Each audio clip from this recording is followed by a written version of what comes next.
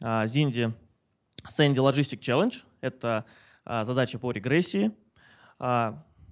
И Роман Пинков расскажет нам про это соревнование.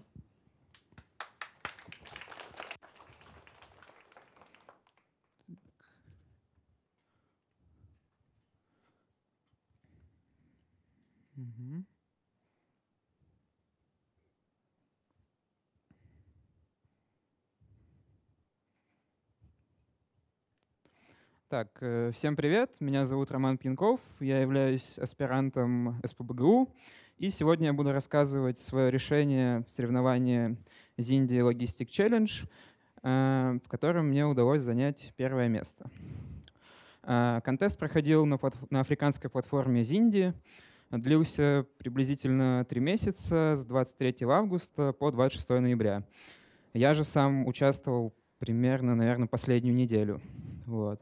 В контесте было предусмотрено три денежных приза. За первое место три с половиной тысячи долларов, за второе две с половиной и за третье тысяча.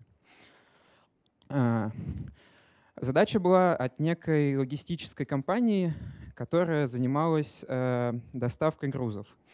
А, в контесте нужно было по каким-то деталям заказов предсказать э, время в секундах, которое потребуется водителю, чтобы доставить груз э, ну, с какой-то одной точки, э, соответственно, тому, кто его заказал.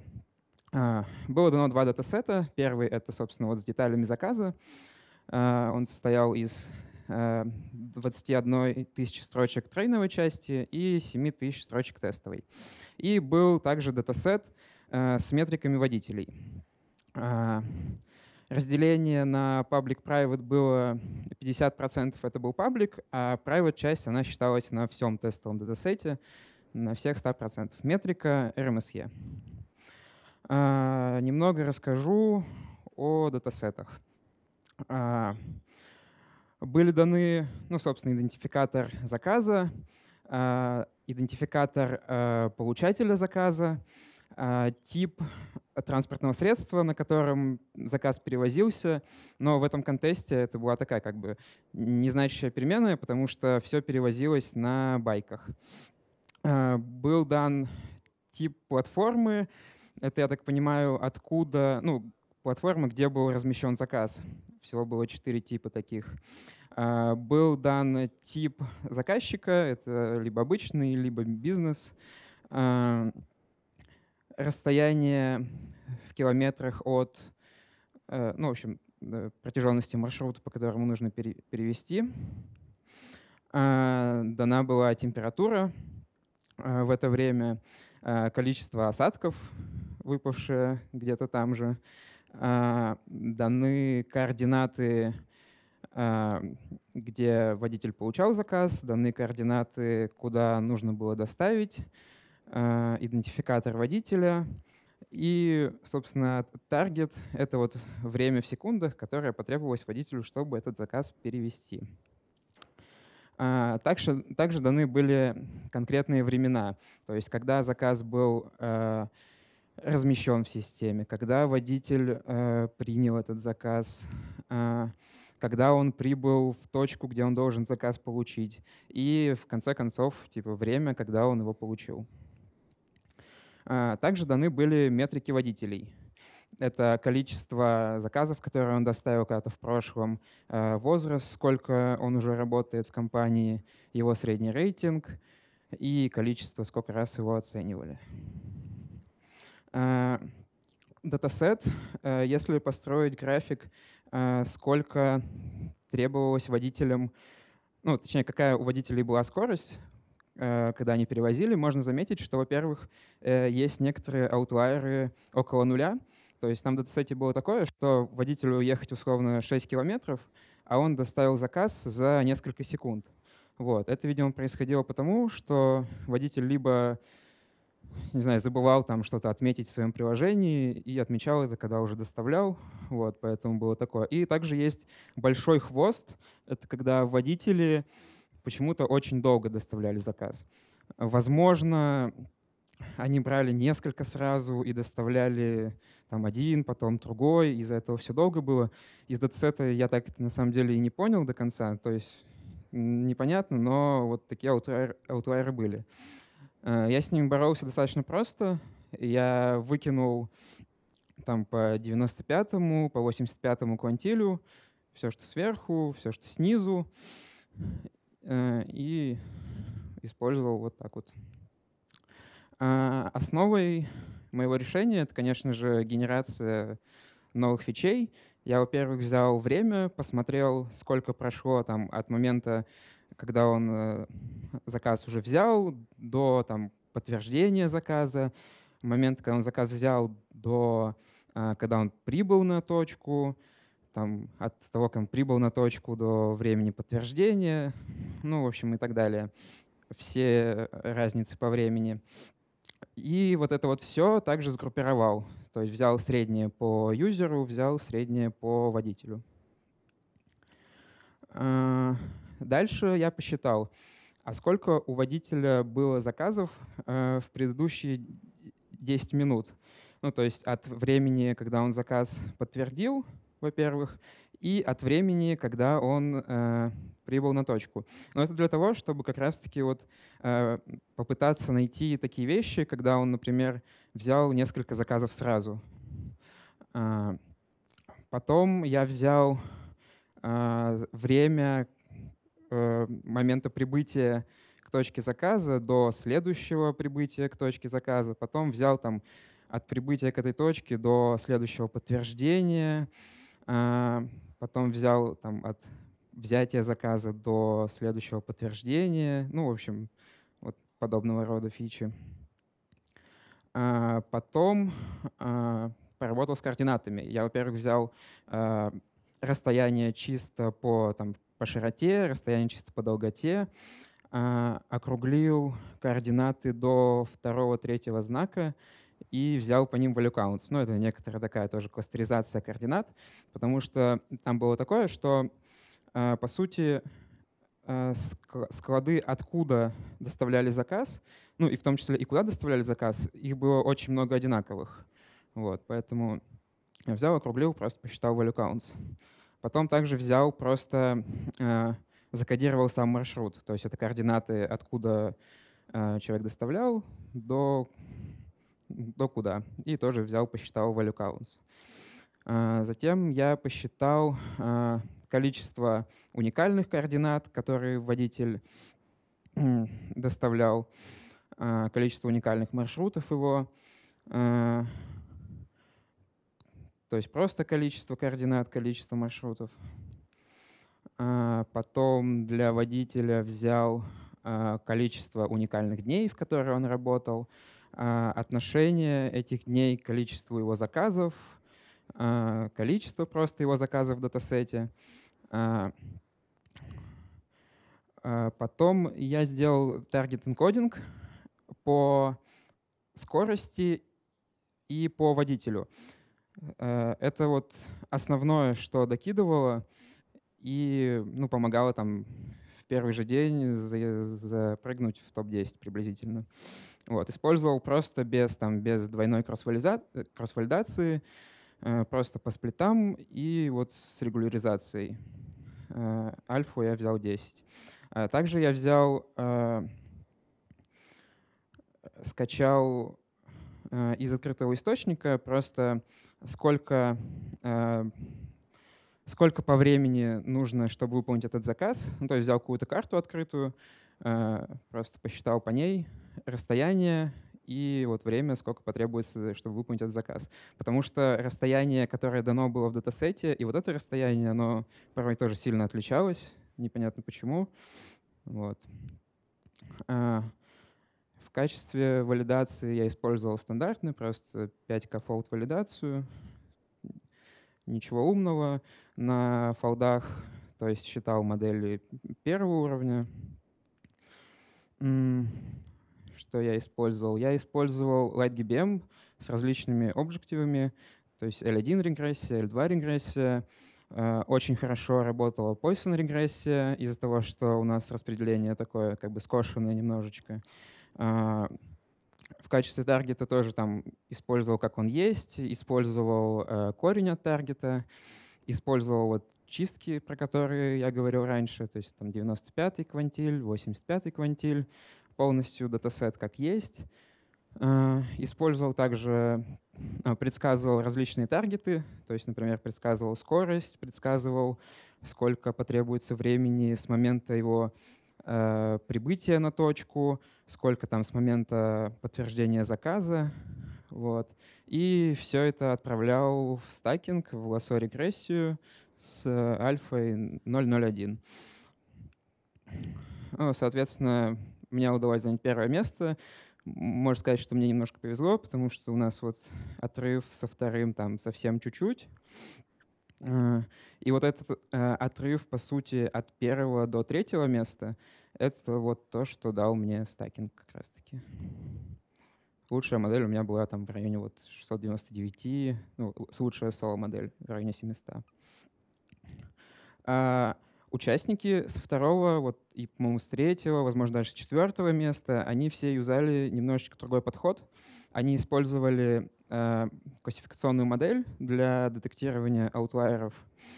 И потом уже, то есть если это аутлайер, то они там ну, предиктили условно там 0 или что-то еще.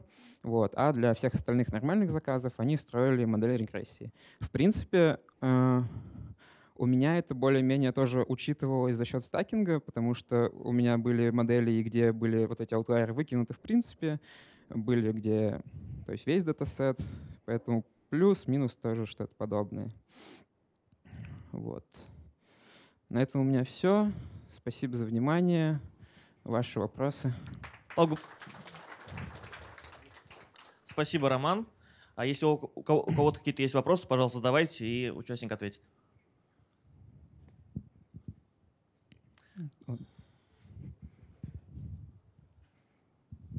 Да, привет. Спасибо за доклад.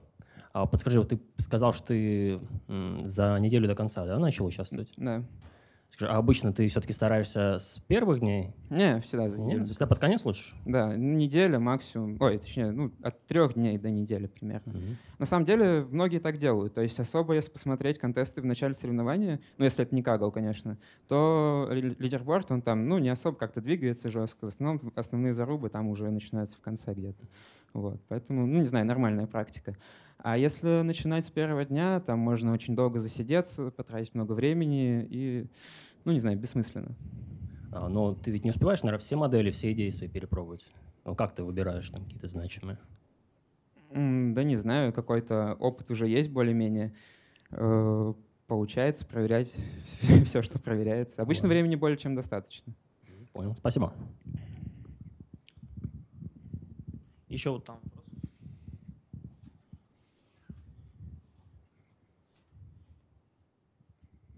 Роман, спасибо за доклад. А сильно ли упал а, показатель а, на паблике по отношению? Uh, у меня Вернее, наоборот... На привате по отношению к паблику. Ага. У меня наоборот э, достаточно вырос. Вот. То есть у меня... Я вот сейчас уже плохо вспомню, какие там метрики были, и в самом этом, в самой платформе не сохранился паблик лидерборд, поэтому я не помню, но я помню, что я наоборот очень сильно поднялся.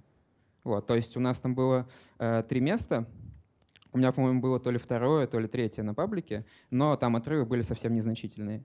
Вот. А на private, то есть вот мы вдвоем оторвались, а вот КСС, он там чуть-чуть отстал.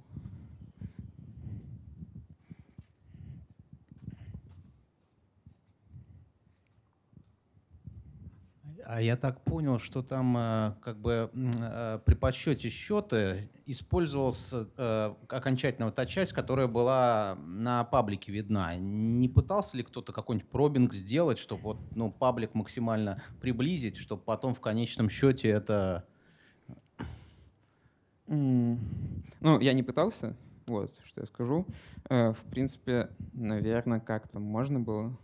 Вот, там ограничение было, не помню, 5 сабмитов в день, что ли. Ну, можно было какие-то там ордера попробовать. В принципе, вполне разумно. Но я так понимаю, что никто таким не занимался. Если бы занимался и получилось, занял бы первое место не я, наверное. А, Роман, еще вопрос из трансляции. Можешь подробнее рассказать про value counts?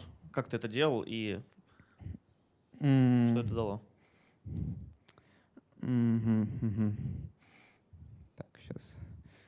Сложный вопрос, конечно, в плане того, э, как я это делал. То есть, по сути, это ст- стандартная вещь в Pandas, value counts по каким-то категориальным фичам.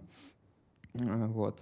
Э, Не знаю, в принципе, можно это загуглить. Вот. А дало, очень дало много по координатам value counts. Вот. Ну, то есть, по сути, э, у нас координаты — это такая там, ну, категориальная фича, в принципе, потому что было много там одинаковых. Вот. Э, И это просто как способ кодирования категориальных фичей. Вот. Чтобы не запариваться, ничего.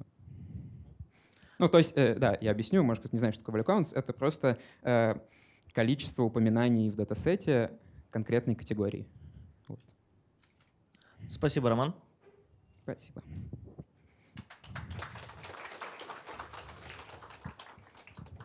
А следующий участник а, рас- э, сорев- участвовал в соревновании Data Souls Wild- Wildfire Artificial Intelligence. А, В этой задаче нужно было классифицировать э, пожары. А, Соответственно, Илья Плотников Раз, раз, подробно о раз. ним расскажет. Нормально слышно?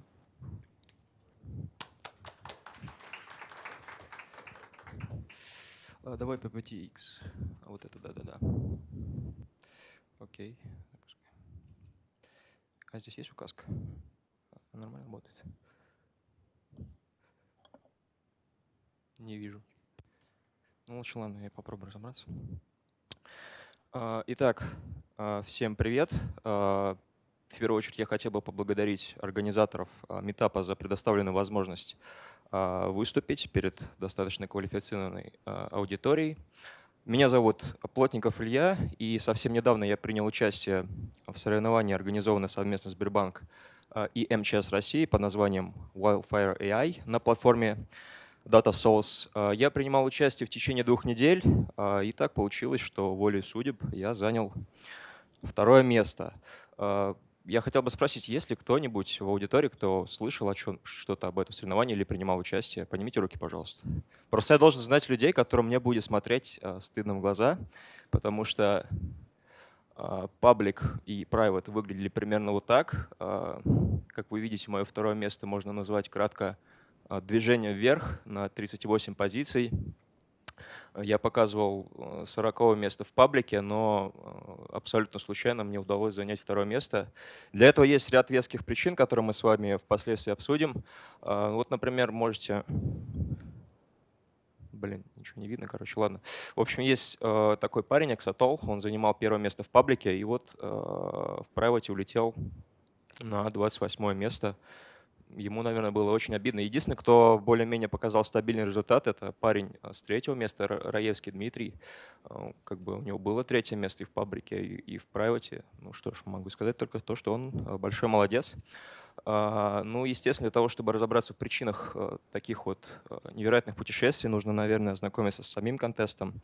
Цель контеста была в том, чтобы, используя систему классификации МЧС по каким-то входным данным, определить, ну, по точке э, температурной аномалии, а, определить э, класс принадлежности этой точки к одному из э, типов пожаров. И, соответственно, вы должны были засобмитить на платформу свой solution в виде zip-архива с кодом, который, соответственно, должен работать в буквальном смысле прямо из коробки. Э, В качестве метрики использовалась micro-average multiclass ROC-AUC, то есть что должно говорить вам, в принципе, о том, что у нас датасет люто имбалансный. И, ну, давайте, в принципе, подробно поговорим по поводу датасета. А, Вот тут фрагмент датасета. Это, в принципе, он, он на самом деле довольно простая небольшая табличка. А, Он представляет из себя историческую вы- выгрузку из а, базы данных МЧС примерно за 7 лет, ну, по крайней мере, в трейне. А, И, ну, там около 175 тысяч строчек. а, И из колонок это у нас, соответственно, высота широта, то есть это координаты. Ну и, соответственно, а, дата фиксации точки температурной аномалии. А, Помимо прочего, в бейзлайне организаторы предлагали использовать внешние датасеты.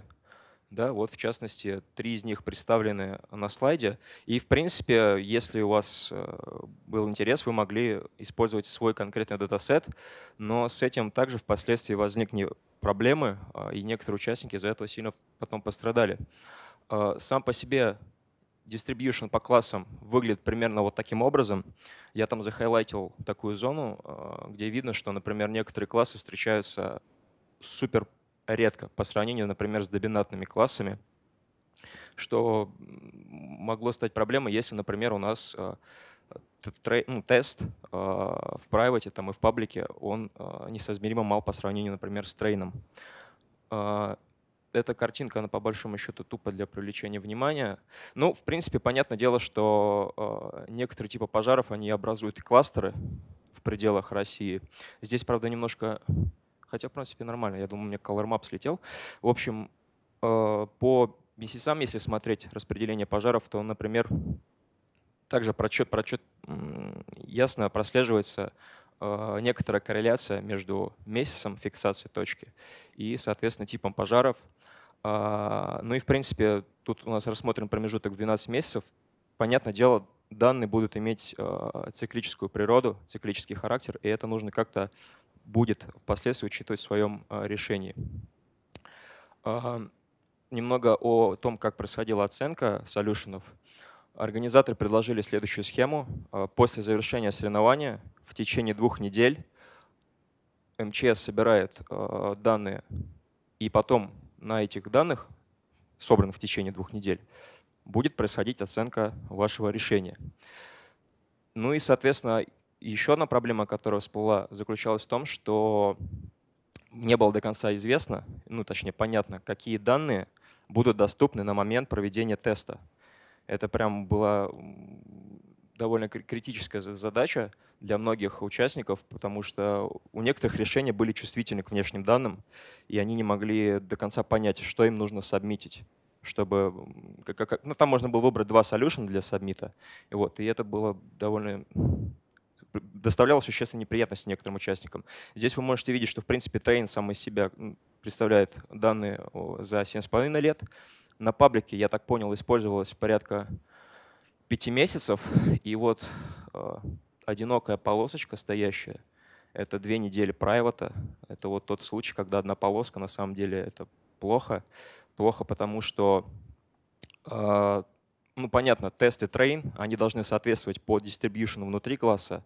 И, соответственно, так как у нас, ну, в общем, если резюмирую, да, у нас лютый имбаланс по классам, у нас очень маленький private по сравнению с трейном, а, у нас не до конца известно, какие данные будут доступны на момент тестирования. Ну и, в общем, а, по совокупности факторов мы получаем вывод, что, возможно, я здесь незаслуженно стою перед вами, выступаю, и мне просто повезло. Кто знает.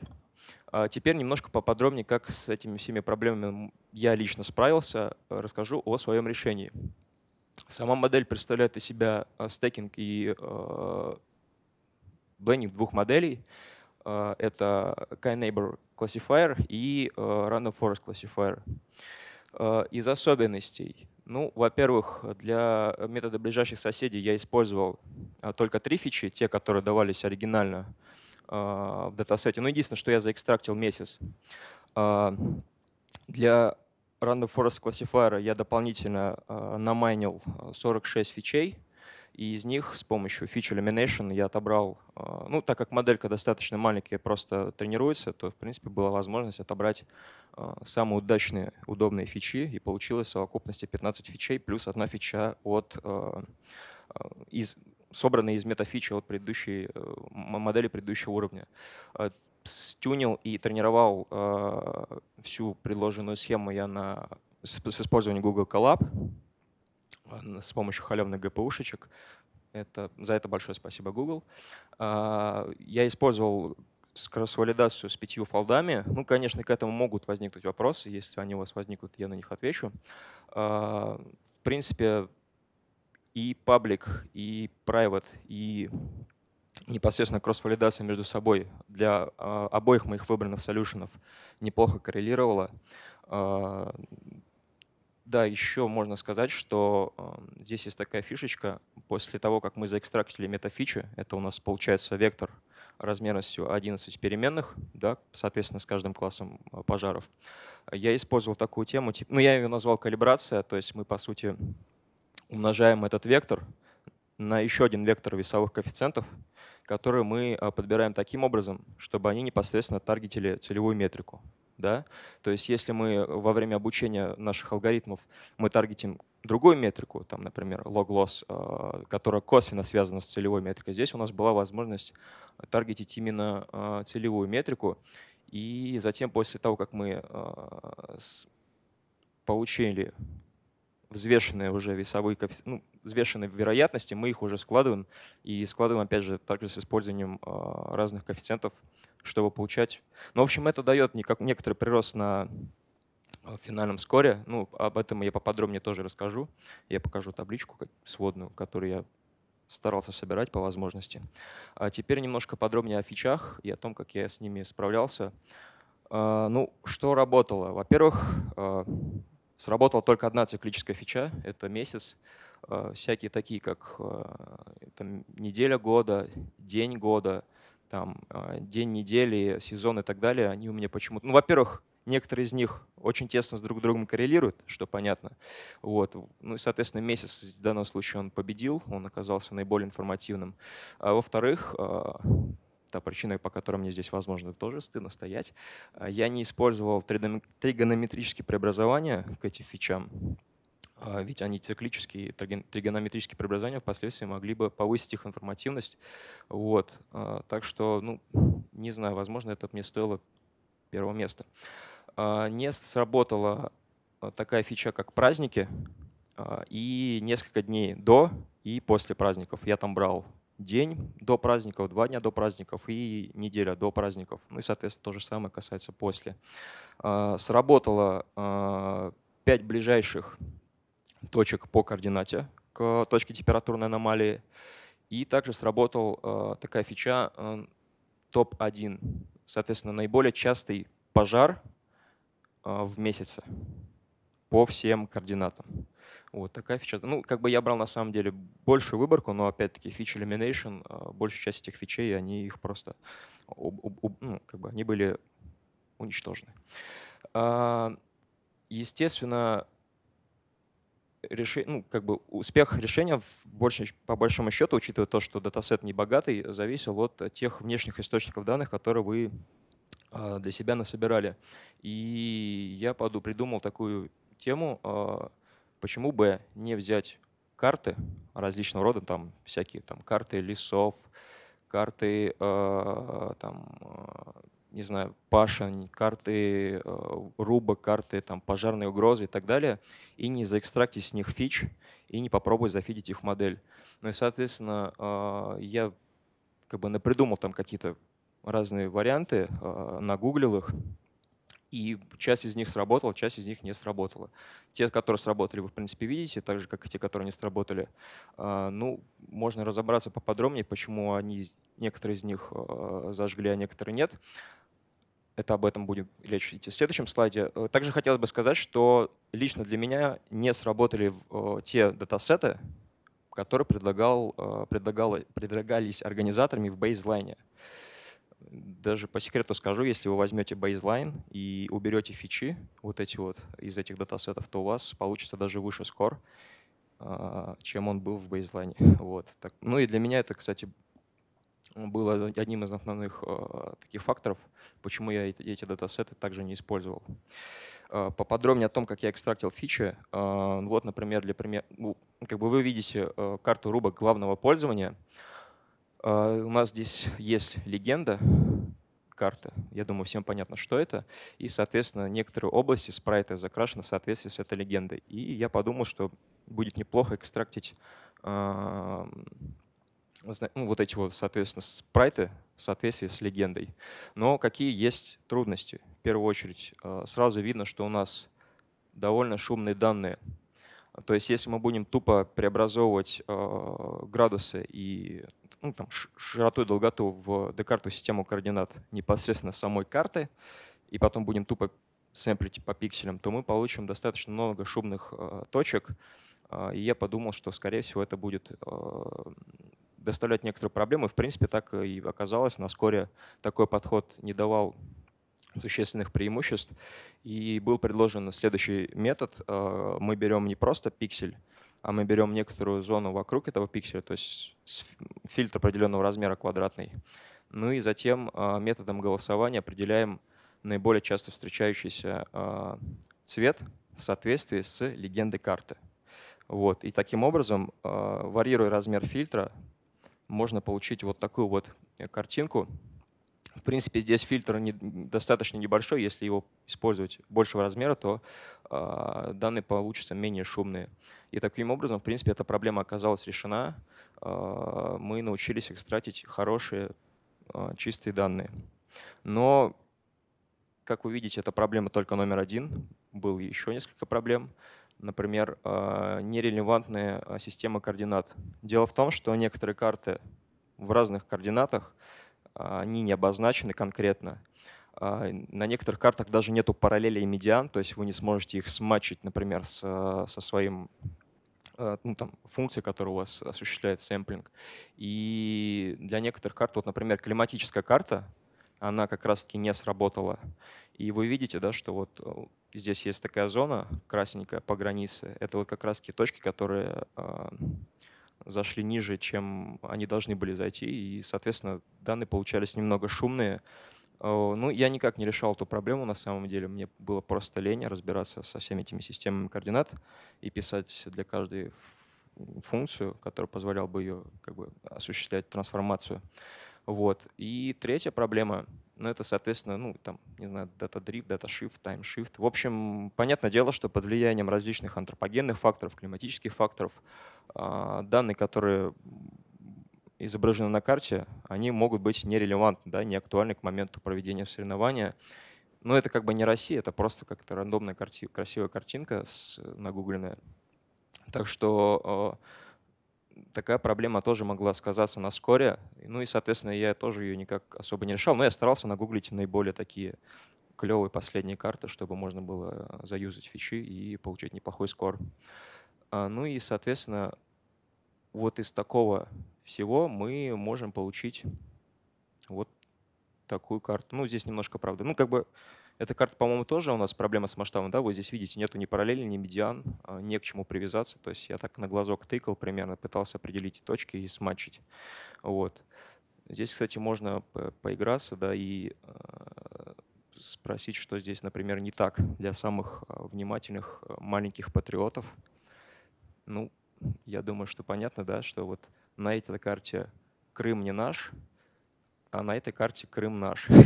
ну, то есть получается, что как минимум, ну, вот этот э, факт, он всплыл в процессе работы над докладом, и, возможно, он, кстати, негативно сказался на скоре. Я, честно говоря, не знаю. Будет интересно посмотреть, как э, модель работает именно непосредственно на данных э, из Крыма. Очень интересно, на самом деле, самому стало. Ну и как результат, это как бы не полная таблица.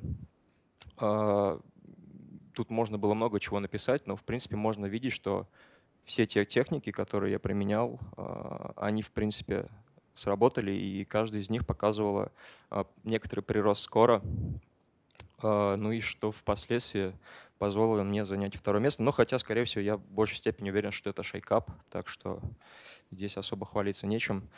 Это все, что касается моего солюшена. Теперь я хотел бы вкратце пройтись по решениям других участников. И начать, я думаю, будет лучше с участника, занявшего третьего места в прайвате и третье место в паблике. Это Раевский Дмитрий. А, из особ... Ну, во-первых, есть ссылочка на GitHub, вы можете там перейти, там довольно неплохой solution, а, в том плане, что он нагенерил более 600 фич, а, и у него прям такой огромный ноутбук, где ну, там на 2000 строчек, по-моему, кода, где он генерит все эти фичи, вы, в принципе, можете их использовать для себя, тупо на, наделать сниппетов, например, если вам будет интересно.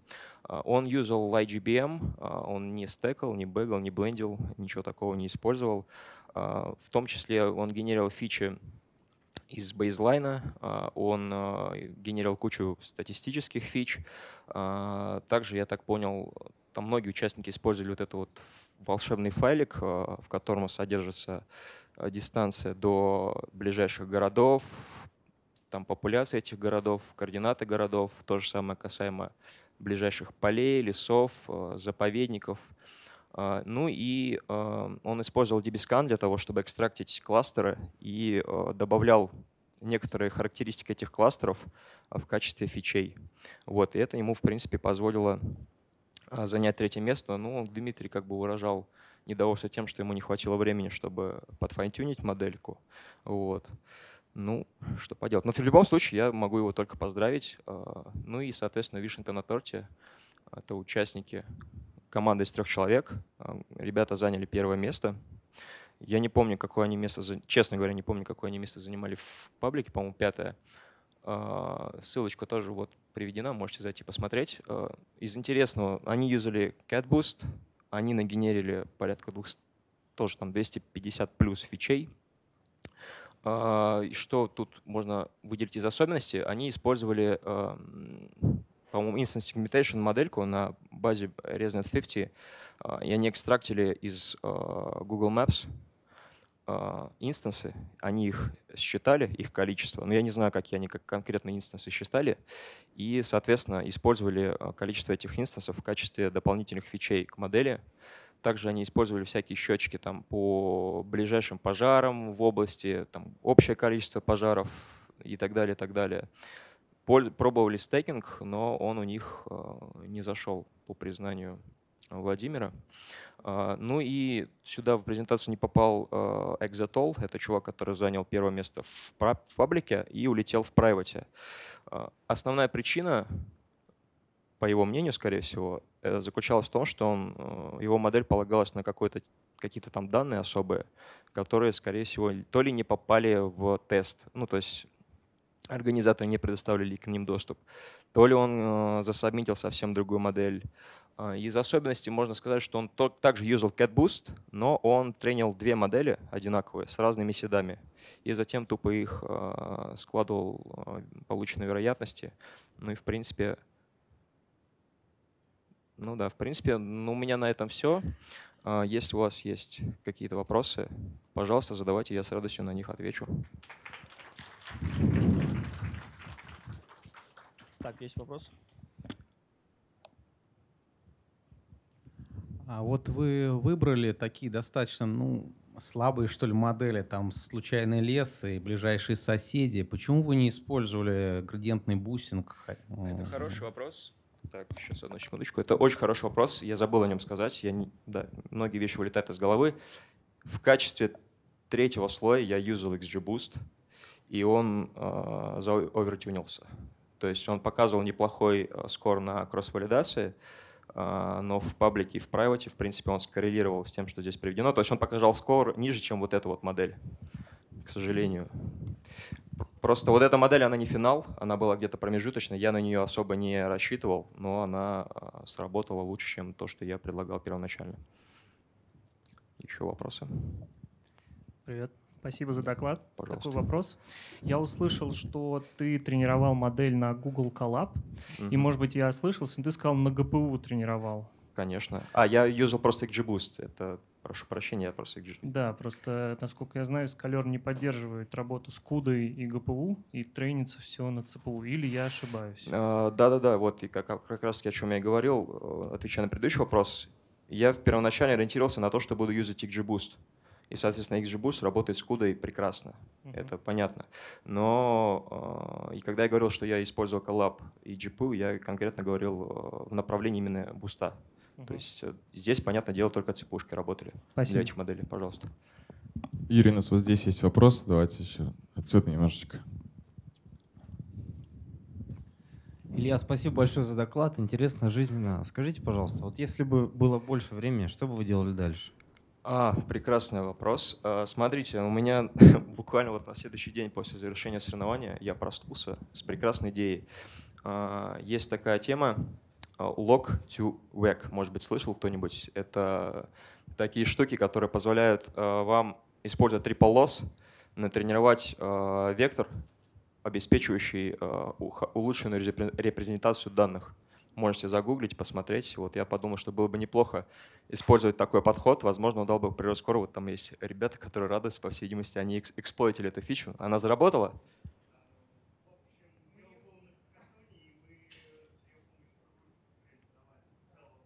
Ну, в общем, рабочая фича, да? Да, блин, идея хорошая, но она пришла, к сожалению, только на следующий день после соревнований. Очень же, но она просто может быть свежая, и о ней мало кто знает. Может быть, в этом суть. Ну, ок, все. Вот если что, можете с ребятами пообщаться на эту тему, если, если будет интересно. Давайте еще один отсюда вопрос. Илья, спасибо за доклад. Э, С учетом э, сезонных колебаний, была идея использовать Арима в качестве промежуточного слоя? Ой, я, честно говоря, настолько неопытный, что даже не знаю, что ответить на этот вопрос. Э, Я загуглю, посмотрю. Ну, наверное, как бы я некомпетентен в этом вопросе, так что извините, пожалуйста, не могу ответить. Давайте отсюда еще один вопросик.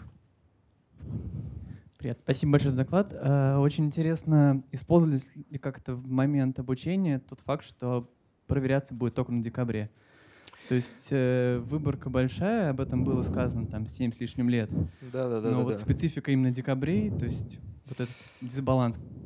Да, Был ли занятный вопрос. Э, Да, я думал над этим. Я думал, что что если не использовать э, валидацию на пяти фолдах, а тренить конкретно на только, по- по- ну, как бы некоторые участники так и делали.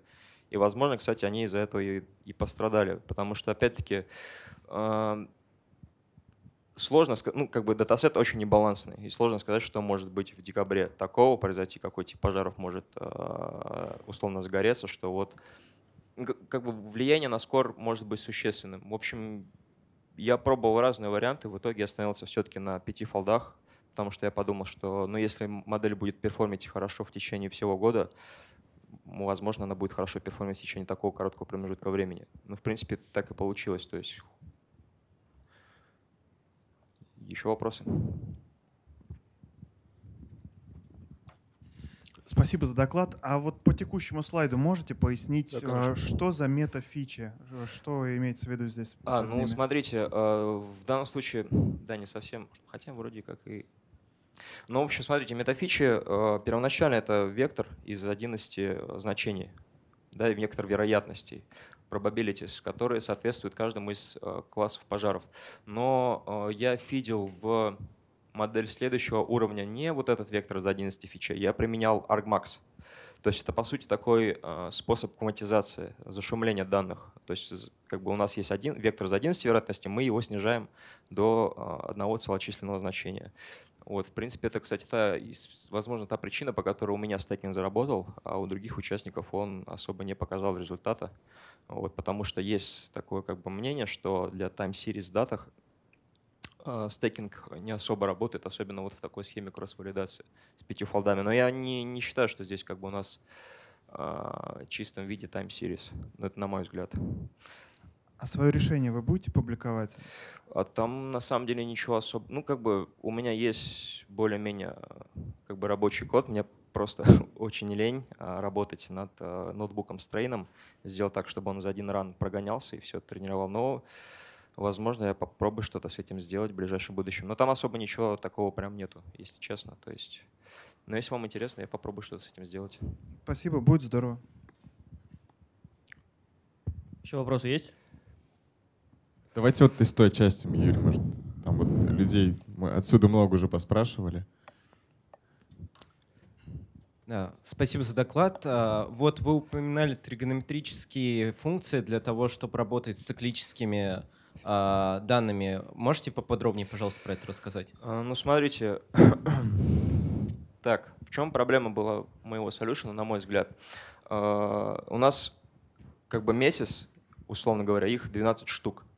И мы можем сказать, что условно какой-нибудь декабрь, который является 12 месяцем, он похож на какой-нибудь январь, который является первым месяцем.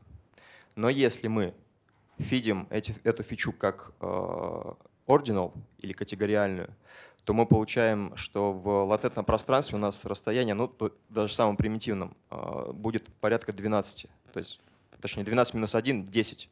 Чувствуете, да? Стоп, стоп, стоп, стоп, стоп, стоп. Забыли, забыли, забыли. 12 минус 1 — 11. А, Соответственно, то есть довольно существенное расстояние, хотя на самом деле эти меся- месяца, они очень друг на друга похожи. Если использовать э, синус-косинус преобразования, то есть мы как бы из одной фичи получаем две фичи, но это нужно вам лучше загуглить, поверьте, вы там найдете гораздо больше а, полезной и понятной информации. Но в любом случае мы должны просто получить такую репрезентацию, такой энкодинг, который бы как раз-таки позволял э, вот этот характер зафиксировать в э, самих данных. То есть чтобы расстояние между там, декабрем и январем было такое же, как между январем и февралем. То есть это было довольно важно. Но я на самом деле, по-моему, пробовал использовать э, вот это преобразование, такой энкодинг. И вроде как, я точно не помню, вроде как он не зашел. Вроде как не сработал ни в каком виде. Если Еще вас... вопросы остались? Вот девушка в среднем ряду. Ага, вижу. Привет, спасибо за доклад. Вопрос про то, как ты боролся с несбалансированностью датасета и боролся ли как-то. То есть ты там э, выкинул какие-то классы, у которых было по 0,2%, или ты на них забил? Или... А, ну смотри, да, классный вопрос, тоже я забыл об этом сказать э, в докладе. А, я юзал, пробовал разные способы оверсэмплинга, а, они ни в каком виде не зашли вообще в принципе. То есть я и выкидывал классы, и добавлял, я юзал, а, есть такая либо Smoke, по-моему, она так называется, может быть, слышали, да, который хорошо подходит для оверсэмблинга. А, там есть метод ближайших соседей для того, чтобы дополнительно добавлять а, данные к выборке по а, классам с малой долей репрезентации.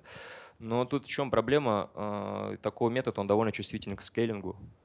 Вот, данные у нас с разным масштабом, и, соответственно, возможно, это была та причина, по которой этот метод тоже не зашел. В общем, я оставил все так, как есть, э, потому что в таком виде э, скор получался выше.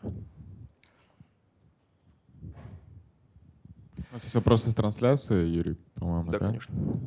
А была ли возможность использовать а, непосредственно тарифы для как бы, понимания географических особенностей? То есть можно было ли из тарифа вычислить координаты либо регион? Тарифов, талибов, что, что, простите, я не понял немножко вопрос. Ну, просто. Ну, вопрос трансляции, он был, звучал так, то есть можно было, а, используя тарифы, да, понять, а, какой регион. Тарифы какие? Ну, вопрос странноватый, но у нас ну, общем, вопросы приходят из трансляции. Ну, давайте так, я попробую сообразить, что здесь имеется в виду какие-то тарифы. Ну, давайте по-другому сформулируем. А можно было ли какие-то а, использовать внешние данные, которые бы а, как бы помогли? А, ну если в таком виде, ну смотрите, как бы я думал, э, в основном я ориентировался в своем, в своем решении на конкретные карты. Я думал подключить карты там, плотности населения, я думал подключить карты там, промышленных объектов и так далее. Ну, то есть некоторые участники, да, допустим, команды, которые заняли там, первое, третье место, они использовали как раз вот эти данные, там, с, которые бы отражали инфраструктуру городов. Вот. Но я в своих решениях такие данные на них не ориентировался. Возможно, если бы я их использовал, да, скорее всего, они бы показали увеличение скоро, я более чем уверен. Потому что для, для них, для этих участников эти данные оказались довольно ценные. Давайте последний вопрос. Давайте. А можете еще немножечко рассказать про карты, как примерно этот процесс выглядел? Вот вы брали контурные карты за девятый класс, сканировали их и нет, что-то нет. делали? Или... Боже упаси, конечно, нет. Я использовал э, Google, конечно же. А, ну, смотрите, я тупо накачал карты, которые мне приходили в голову. А потом я, соответственно, написал класс Mapper, который осуществлял, э, во-первых, трансформацию долготы и широты в декартовую систему координат, так как у нас карта плоская. И какая особенность, как я уже отмечал ранее, разные карты имеют свой, свою систему координат. Там есть там равновеликая проекция, там Альберта, по-моему, есть там какие-то там, ну, в общем, для России несколько характерных э, проекций существует. И, соответственно, я использовал только одну, как раз и с равновеликой проекцией. Э, для того, чтобы матчить карты, с, соответственно, трансформером, я использовал точки пересечения медианы параллелей. Вот. И, соответственно, вычислял, где эти точки пересечения э, по системе координат самой э, карты и где они по координаты пикселя именно конкретно этой точки пересечения. Ну, то есть таким образом мы как бы строим такой объект, который позволяет э, осуществлять матч, ну, процесс матчинга. Ну а потом э, мы тупо селектим пиксель и, соответственно, некоторое пространство задаваемым фильтром вокруг этого пикселя. Ну и там используем, так как бы, ну я назвал метод голосования, то есть считаем, вычисляем расстояние э, квадратичное по цвету этого пикселя и э, вот легенд, которые здесь приведены на слайде, И, соответственно, по трешхолду мы их э, округляем и получаем integer values, которые соответствуют э, вот, как бы, ну, но- номеру, номеру цвета в легенде. И затем мы считаем э, число вот этих пикселей, которые наи- наибольшее. Ну, допустим, если у нас там есть темно-зеленый, да, там более 15 э, тысяч метров кубических, если он наиболее часто встречается в этом спрайте, то, соответственно, э, точка, вокруг которой мы строим этот фильтр, получает вот значение как раз-таки вот этого вот э, ну, там нулевое значение более 15 тысяч метров кубических. И так мы делаем для каждой точки, которую мы сэмплим. В принципе, получается вот, вот такого плана э, картина. Вот нет, вот как раз смотрите. Да, как раз я использовал вот этот метод голосования за счет соседних точек. Он как раз просто вот эти вот все обозначения шумные, они, э, они бы не, в любом случае, они не соответствуют этой легенде. И они сразу же получают там особый, особый лейбл, чтобы их впоследствии не учитывать при э, вычислении финального значения. Спасибо, Илья. Пожалуйста. Вам спасибо. А, у нас сейчас будет кофе-брейк до 13.20. После него будут интересные доклады с использованием нейронок, AutoML, поэтому ждем вас. И еще будет самая интересная презентация еще только впереди.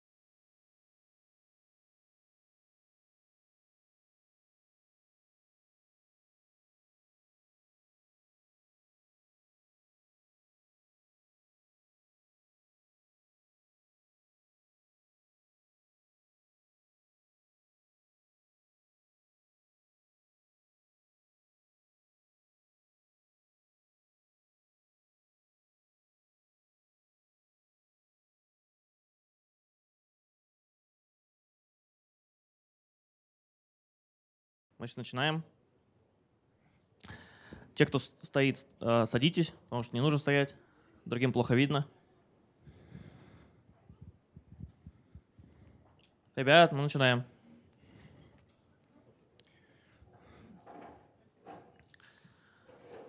Следующий докладчик Илья а, Кибардин.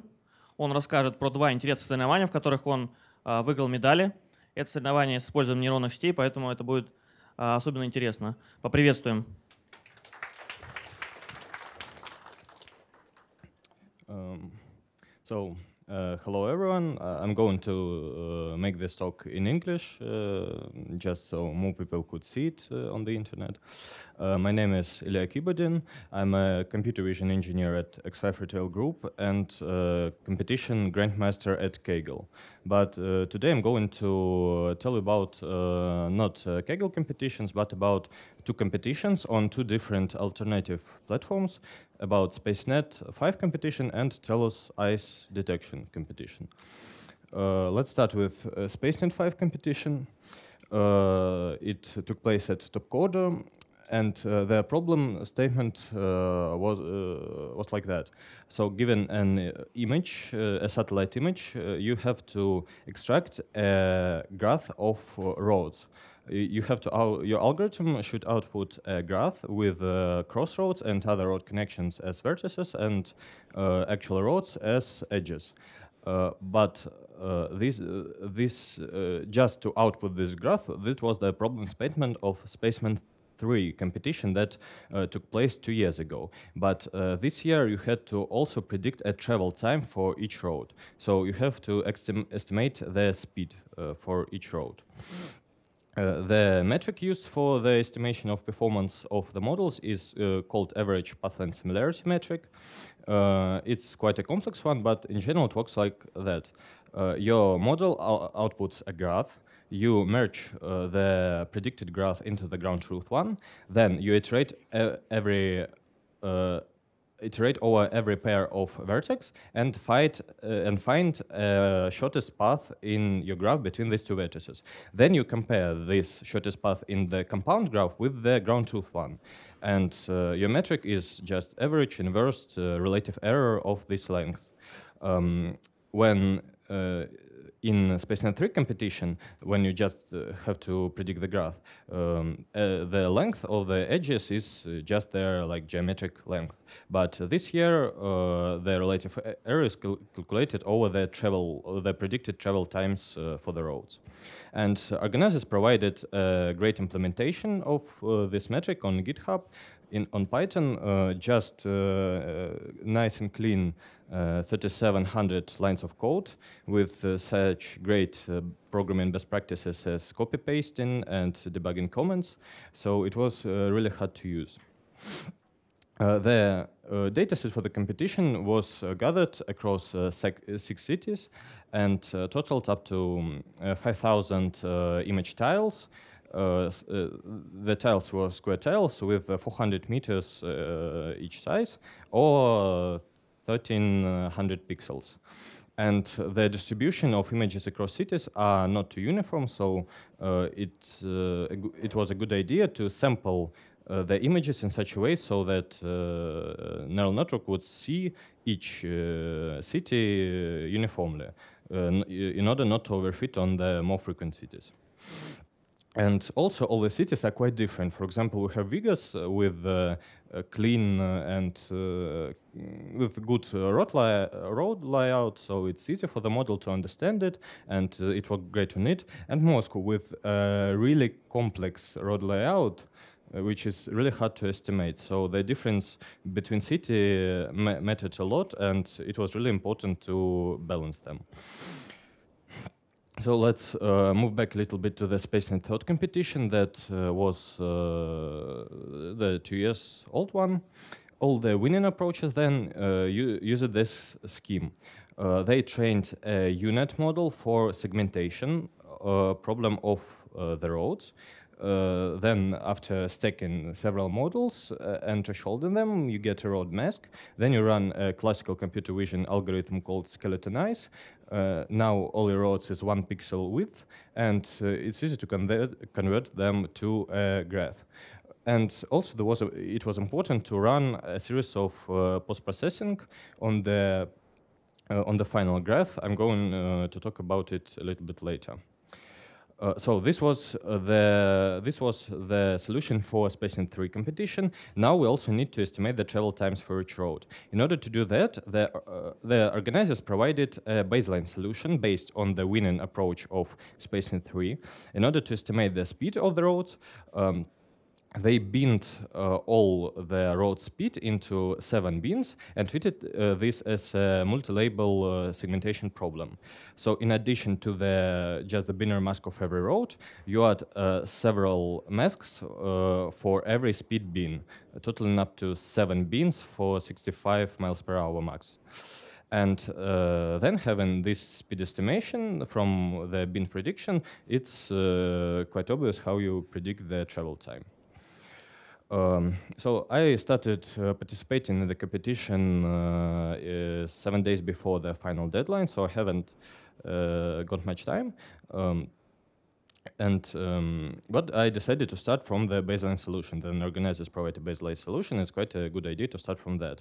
By training the and predicting just the provided baseline, you get around 0.44 uh, score at the leaderboard. It's far from top, but it verifies that it is working.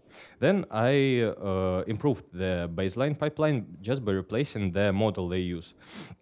The thing is that they use UNet with ResNet34 encoder.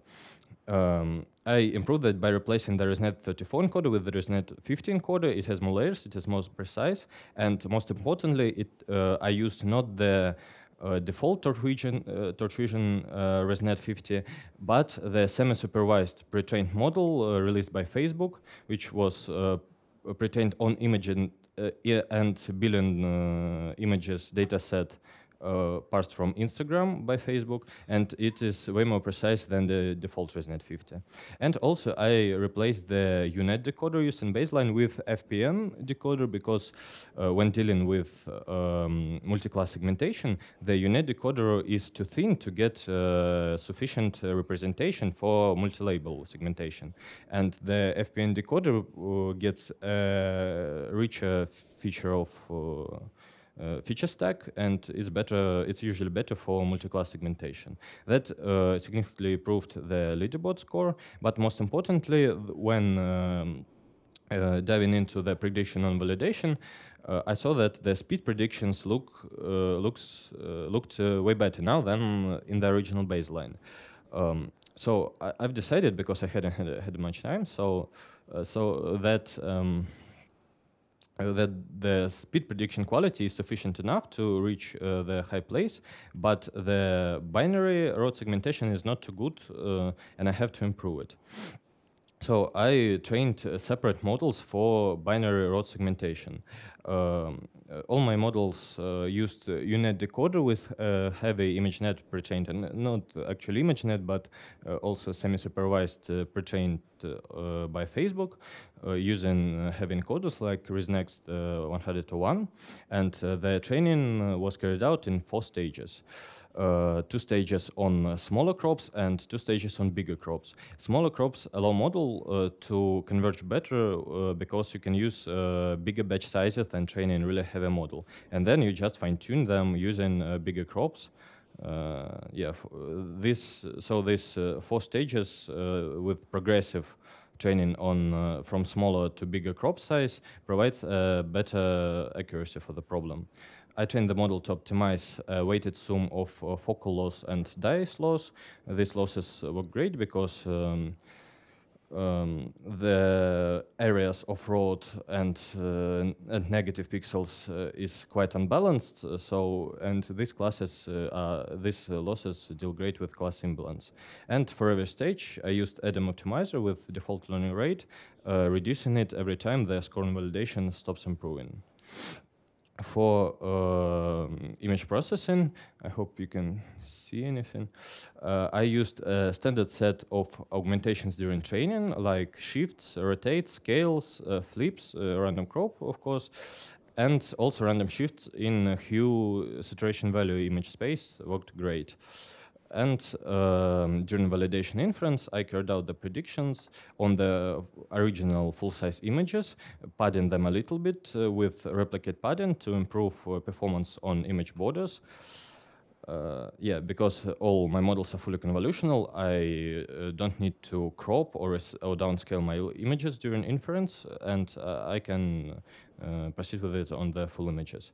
Uh, for all the processing, I used Albumentations library. It uh, provides fast and really convenient augmentations for computer vision problems, and it's built by Kaggle Masters, so I strongly recommend if anyone doesn't use it, it yet. So my final uh, ensemble looked like that. Uh, I was using three different architectures on five folds. Uh, the ensemble is ensemble is not uh, so big because the organizers uh, the, because this is a Docker competition, so you have to provide a Dockerized solution uh, so that organizers could train them and reproduce your results. And it was requ required for the ensemble to be able to be trained in 48 hours on four Teslas. Um, uh, also, during inference, I used uh, D4 test time augmentation. That's uh, the process then you from original image you create eight new images by using every rotation on uh, 90 degrees and uh, flips. And then you average all these uh, all these predictions with uh, weighted mean actually in favor of uh, more strong models of ResNext, ResNext 100, yeah. Uh, also, uh, yeah, and uh, this ensemble gave me a much better score of um, 0.53 leaderboard, uh, approaching me to the prizes places. And also one important aspect of my solution was improving of uh, graph post-processing. So the original uh, solution, winning solution of SpaceNet 3 by albu, and uh, so the uh, provided baseline uses a series of uh, post-processing policies for the predicted graph. For example, uh, the first two of them is, uh, the first is if uh, the predicted vertices are closer than certain threshold, threshold which is tuned using validation, you add an edge between them. Uh, another policy is uh, when you have um, two vertices far from each other uh, with a bigger distance, but the angle between the roads is uh, quite similar, you all can also connect them. So this post-processing solves uh, some basic uh, problem in connectivity of predicted masks. But I added another, the third important policy, um, uh, to the uh, post-processing, uh, which works with three-road crossroads, because the network seems to fail quite often on such crossroads. So for every vertex, vertex we iterate above uh, all other edges in the graph, and if the distance between them are lower than certain threshold, again tuned uh, using validation, we add an edge we, we split the uh, edge in two by adding a vertex to it connected with another road. And uh, the uh, final results are presented here. They were uh, calculated uh, above uh, using four cities. The tricky thing here is that the score is strongly defined, like uh, defined, like 60% of the score is defined by a score on the last city, Dar es Salaam. Uh, I hope I pronounced it right. Um, uh, this uh, this not uh, only the city was not presented uh, nor in training dataset nor in public test dataset uh, nobody even know the name of the city until the final results were released it was called like a mystery city or something so uh, such approach, of course, uh, introduced uh, quite a serious shakeup to the leaderboard, leaderboard, especially because this city is from Africa. It is really similar to another African city in the training dataset, but on the initial, I showed when I showed the distribution of the images across the city, the the only African city was the least presented one. So if you don't uh, balance uh, your sampling uh, between the cities on training, you fail mi miserably on this new city. So that was a questionable decision by organizers by introducing uh, such a mystery city, uh, but still. And uh, traditionally, all the um, SpaceNet winning solution are open sourced by the organizers on their GitHub. this one is not open, open sourced yet, by, but um, one should consider following the organizers' blog in order not to miss five great image segmentation pipelines when that comes out. And uh, the final part I wanted to talk about uh, in this competition is the topology loss for uh, optimizing.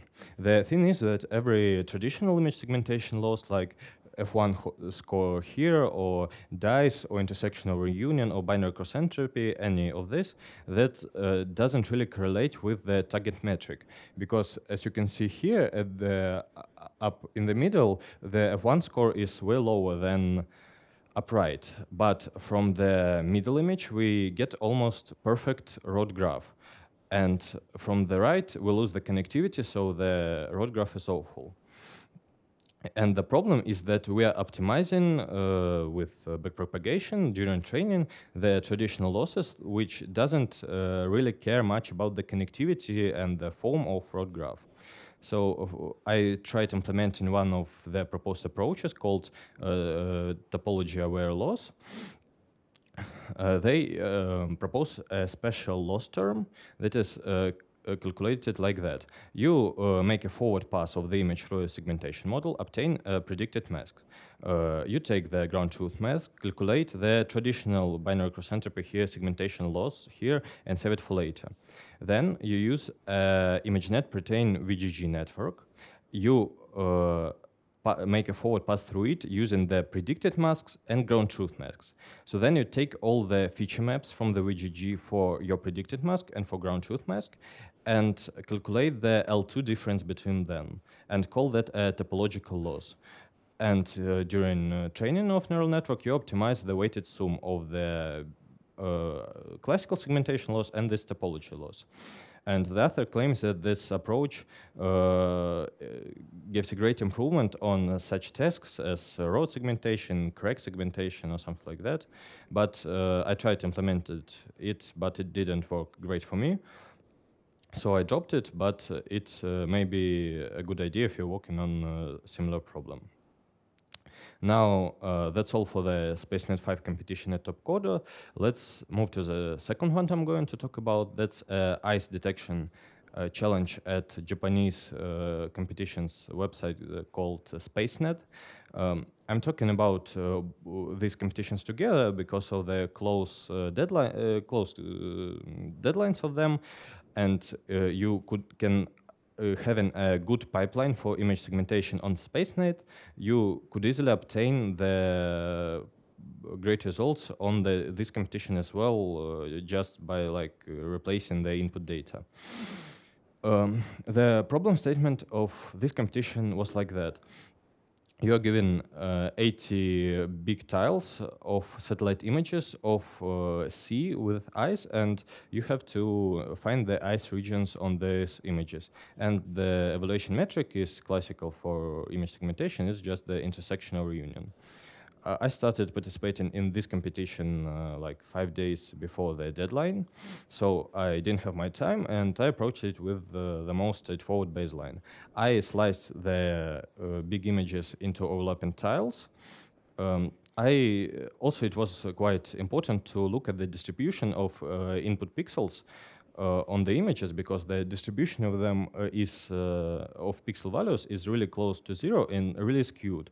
So it was a good idea to train not on the original pixel values, but to preprocess them with logarithm and also some linear transform just to make them look better.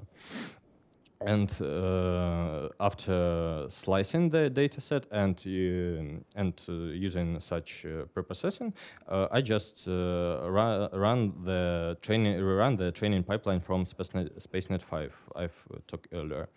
And uh, that doesn't work at all. So the intersection over union score is uh, 0.70. This is far from from top because top solutions at this point had uh, 85 uh, score, something like that. Uh, but uh, looking uh, looking at this image, you can see that it is the resolution is obviously too high for the U-Net to capture the necessary features for them uh, because it's like a typical image if the resolution is too high. So we just have to scale the images uh, to be lower in order to uh, so U-Net could capture the necessary features. So uh, we're just adding the uh, downscale, four times downscale uh, as the first step before the pipeline, and now that works. Uh, uh, also, this competition uh, didn't, uh, it wasn't a Docker competition this time, so you just needed to submit a CSV file, uh, or just, okay, just submit the prediction, so I was able to get a nice uh, pipe, uh, nice uh, ensemble here of four uh, heavy encoders and five folds for each, also D4 test time augmentation for every tile, and that gives a score of 0.83, and uh, uh, which is uh, close to the top already. But um, as I have said, I started uh, competing five days before the deadline. Uh, when I managed to submit the ensemble, it was uh, like another day um, uh, before the deadline, and uh, I was like top five or something. So I had to make like a final improvement in order to achieve prizes. Uh, but the competition just suddenly ended uh, 20 hours before the deadline, and on the shake-up, I got the second place. So. Uh, that's it. Also, funny fact is that all the prize winners are members of ODSI, so it was quite a nice rate on uh, Signate uh, competition website. Um, so that's uh, all for my talk. Uh, if you have any questions, I'd be happy to answer them. Uh, please ask your questions in English because we have translation in uh, this language, so it will be very um, helpful if you will ask in English. Yeah.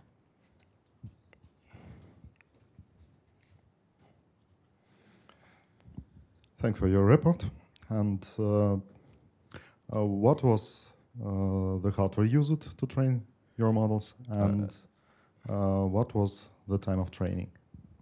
Uh, could you please repeat the first one? What was what you used? Hardware. Ah, okay. Hardware. Um, um, uh, let me remember. I, I used a lot of hardware for both of them uh, because of the time constraints, uh, and I have to make everything quick. But the so the uh, SpaceNet 5 solution trains on uh, four Teslas in uh, 48 hours. Uh, and uh, I've uh, trained them on uh, DGX uh, hardware, so it also contains uh, some Teslas. So that's quite an accurate estimate of the training time. Uh, I think that like 30 hours here, I used to train the two folds of ResNet uh, 100 to 1 because it's uh, a really heavy model. Um, and for uh, for the Signate competition, uh, there were um, less data in that, uh, so the model trained quite fast.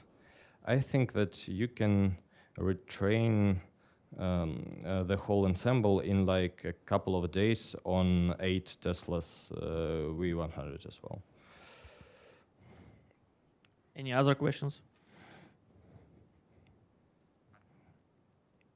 Uh, thanks, Илья.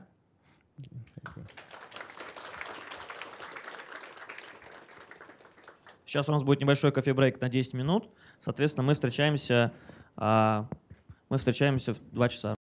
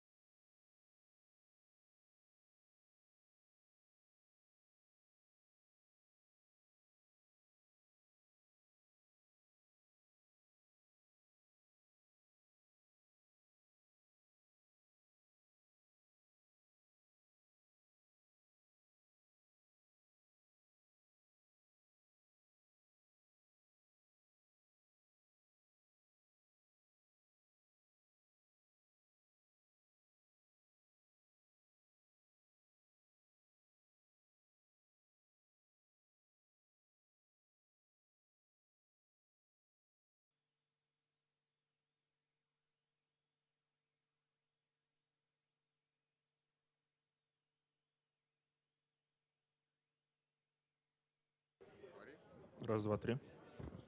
Раз, два, три. Раз, два, три.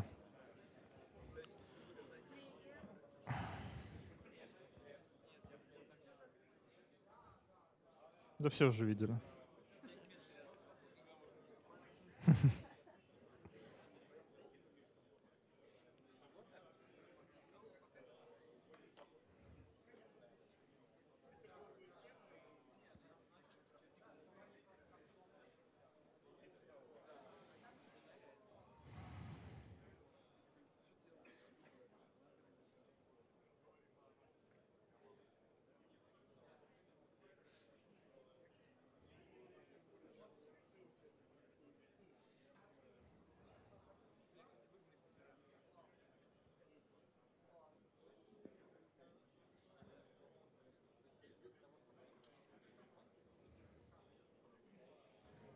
Ребят, подходите. Начинаем через две минуты. Садитесь на свои места.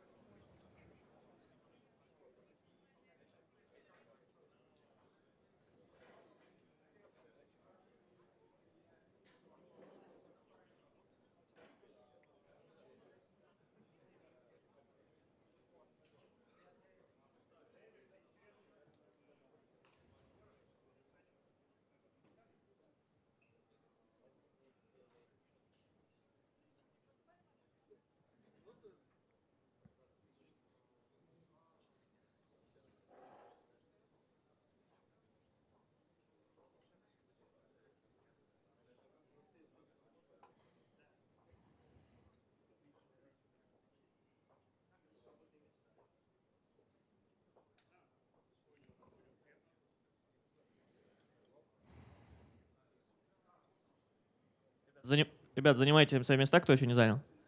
И начинаем уже скоро.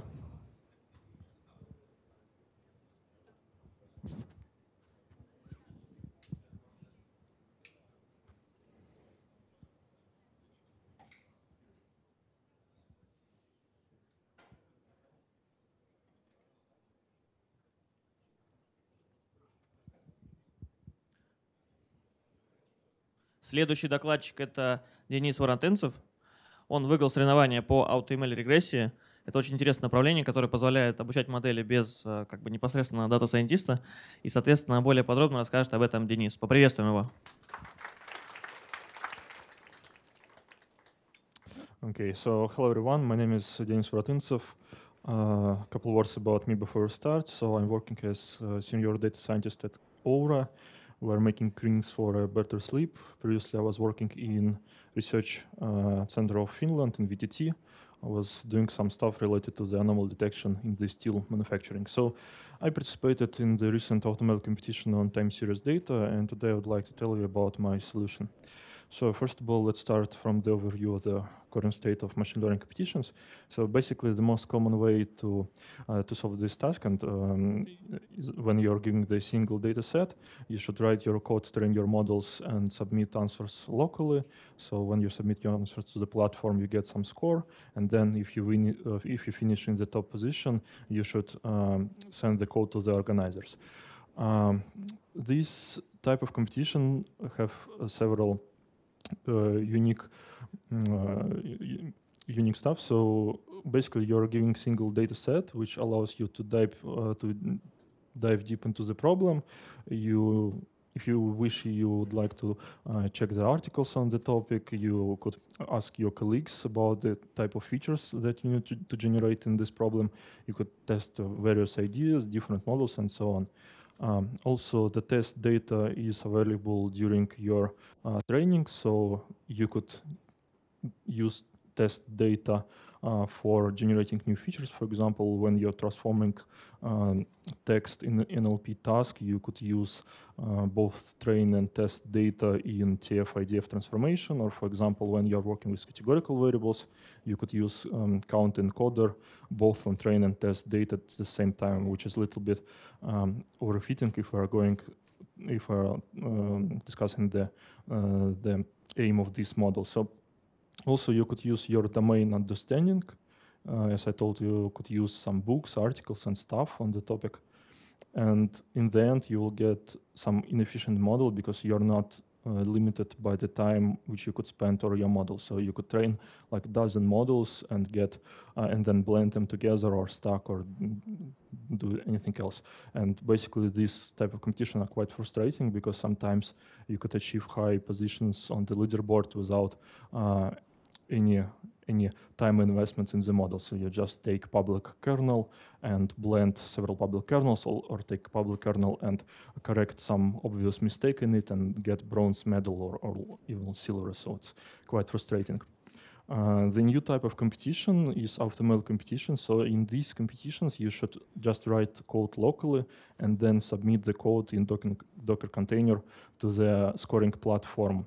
So you have no idea about the test data, which is uh, on which the code will be ex executed. You have no idea on the domain of the models. You have uh, domain of the of the data sets. Uh, you have no idea about the features which are presented in the in the data, and your solutions would be more general, so you could apply it to other tasks uh, from the same uh, same scope, for example, time series regression. And also you have very strict time limits, so you're giving, let's say, one hour to train your model, and if you're not submitting, if you're not submitted your model after one hour, you will get the worst possible score. So you need to take it into account. So basically, I participated in the Auto series. It is 10th competition organized by 4Paradigm and ChaLearn. Uh, it is time series regression. Participants were given 10 data sets, five in public and five in private part, uh, from different domains, for example, air quality, sales, city traffic, and so on. So quite, quite diverse uh, domains. Uh, participants had to submit code, uh, and it would be executed in the Docker container with the following um, constraints. So only 16 gigabytes of RAM memory for CPU and no GPU. It was quite frustrating this for me. Uh, the final scoring, so on each data set, you calculate the RMSE loss uh, for test prediction and then rank the participants. And the final score is just average rank of the participant for the whole for the all data sets. It was quite small com competition, only 45 participants in the um, check phase and uh, only 12 in the final phase. And as I told, I took the first place in this competition. I open sourced my code and also write wrote a blog post about my solution. So let's have a look at it. At first, uh, I'd like to show you the example of the task. So um, we're giving the we're given the data frame with the three columns in in this in this task. So the first one is timestamp. Timestamp should be present in the in all tasks. Uh, second column A2 is a primary ID. So basically, this column show you the ID of the timestamp in the data frame. So for example, retail sales predictions, A2 could be, for example, shop ID. Or uh, if we have multiple primary IDs, it could be shop and um, ID of the product, or maybe shop and uh, city or whatever. And A3 is a target that we need to predict. Uh, also, we're giving some schema of the uh, data sets uh, in which the type of column is stated. For example, timestamp uh, string means uh, that it is a category or ID, and numerical means that it's numerical type. Um, so in this competition, as I told you, should submit your code. You're giving some time on training, and uh, during inference time, uh, you will get next batch of um, of IDs. So basically, you're you're making predictions for the next timestamp and also you are giving the results, the true labels from the previous timestamp. So it uh, opened a possibility to use some sort of lag feature, so you don't need to predict, let's say, uh, with a window uh, more than one, so you need only predict next next uh, value of target. And also you're given some time for update, so if you wish, you could update your model or maybe update some encoders uh, during inference. And um, overview of my final pipeline. So my final solution was really simple. Uh, at first, we generate some common features, and then we train baseline, and if we have time, we optimize hyperparameters.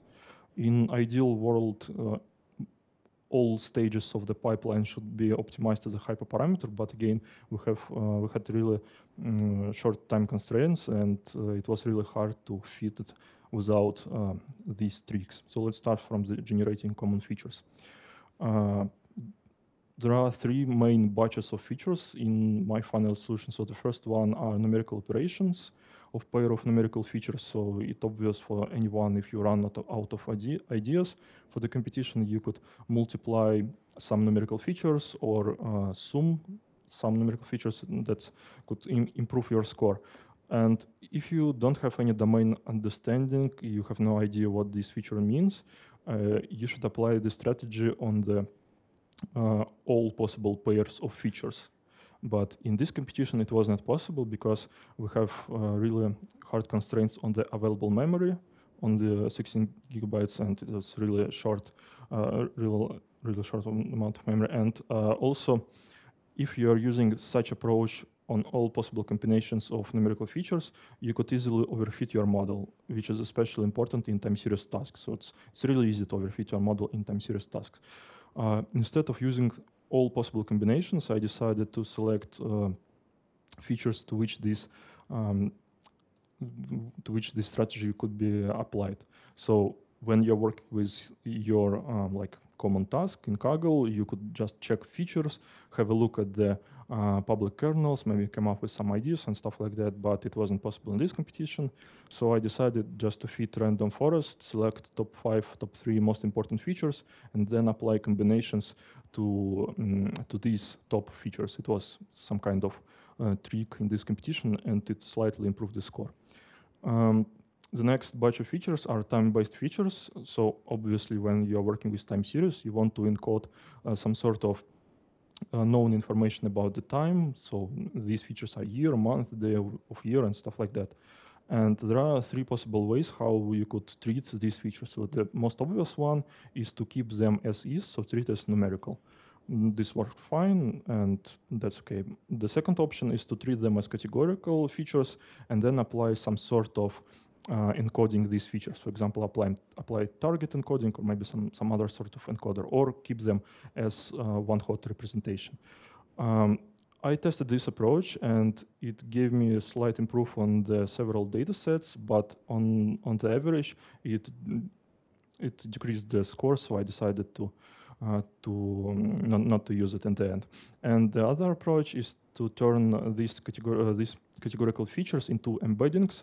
It worked extremely well in the cold storage energy predictions. So in, in this competition, I end up on the fourth position. Uh, and in this competition, you had to predict energy consumption of the buildings based on time and various characteristics of the building. But in this competition, decided not to use this embedding approach because it, re it required a lot of time to train, and I was a little bit afraid that it could just fail my code and I can get zero score. Uh, the third batch of feature, and this this batch of feature is probably the most important mm, batch uh, because in the in this one we calculate the shift and uh, diff features. So basically, it is uh, previous value of target and previous value of the most important features uh, with several lags and also the difference between previous value and the value before and so on. So this feature improves the score dramatically because for example, if you are using even the very simple approach, like taking the previous value as prediction for the for the current timestamp, it could give you some score. And in this competition, it helped a lot. And also one important point to make, so in each dataset, we had um, a some some categories, and when you're working with categories in the normal data set, you just could encode them or work them uh, with them uh, with like one hot representation, something like that. But in this competition, it was really important to add uh, time series ID to these categories. So, for example, you have different um, shops with different IDs, and you have category of the type of good that are going to be sold. For example, food, clothes, and stuff like that.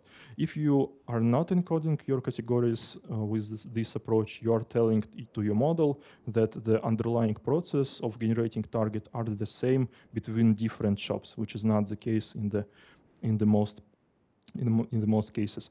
And this simple rule, of course, it it um, increases the cardinality of your features. For example, you have five uh, possible values in your category, and you have 50 um, possible time series ID. You multiply these values, and you get new category uh, new category with 250 uh, new features, which which actually could uh, increase the time which you are spending on fitting your model. So we need to somehow to somehow overcome it in the future. Um, the next step is validation and fitting the baseline. So again, this is really simple. I used the LightGBM model and CatBoost encoder for categories.